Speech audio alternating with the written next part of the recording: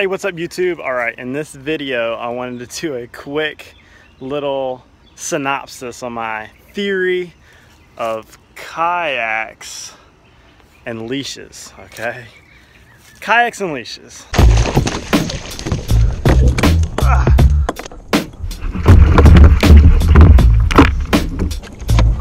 I got you now. You almost got me.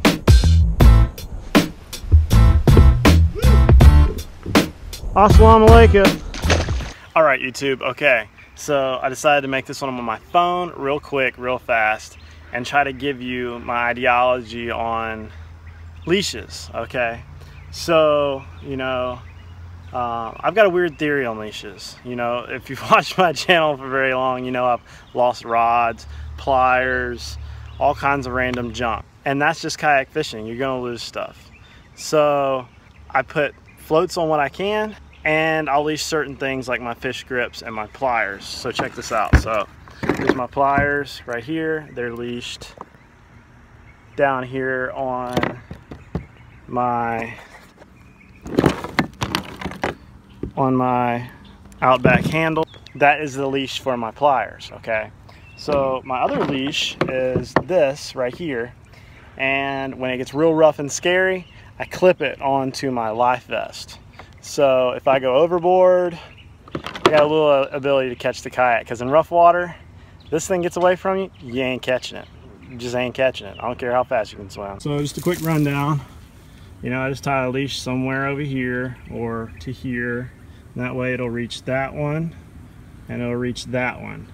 And it tends to work quite well. You know, I have multiple rod holders here and uh, they work well and I've got a, a good video on how this was put together. My other leash is really a cheap and not the best way to do it, but I put it right here on the handle or on my seat, and that way it can reach over to where my crate is right here, or it can reach up front, and I just literally tie a little slip knot on it, and that way I can take it off quick.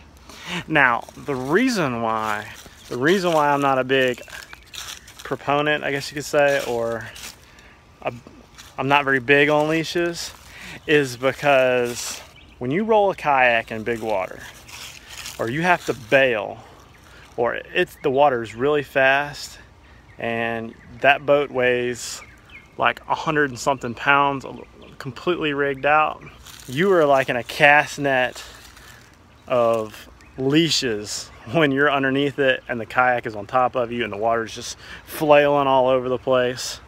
And odds are you're not gonna be able to get back in the boat because you're gonna get hung on every leash you got because the rods are in the water and they're floating like spider webs everywhere. So they wind up, in my opinion, being more dangerous than they're worth. Because if you don't have a knife on you, you're not cutting 550 cord or parachute cord or whatever you've got keeping these leashes on your kayaks to your poles. Um, so just remember when that kayak rolls and those lines are in the water, are you going to be able to get back in the kayak? Are they going to get hung on you? And do you have a knife to cut these things free? Because it can be really dangerous really fast if you can't get back in the boat or you can't untangle yourself because you got hooks flying or whatever. It's another good thing. Take your hooks off before you go back to the break. Just saying. Um, now, if you're just a pond guy and it's not quick water and you want to leash the, the pole, go ahead. I just go ahead and put floats on mine. Sometimes they work, sometimes they don't. You're not constantly fighting leashes. Just my opinion. Um, if y'all got any to add to this, just put it in the comments below.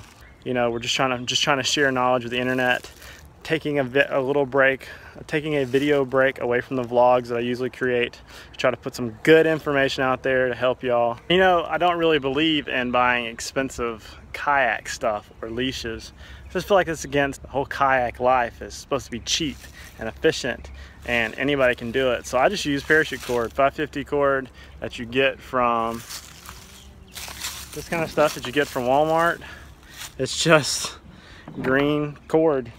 You use any type of string. Rob uses orange fluorescent corn or cord he got from the twine store, Walmart in the twine department or something and it works for him. So keep it cheap, keep it easy and uh, don't always fall for all these, uh, you know, gear accessories that everybody's wanting to put out there now because everybody is taking the DIY guy out of it.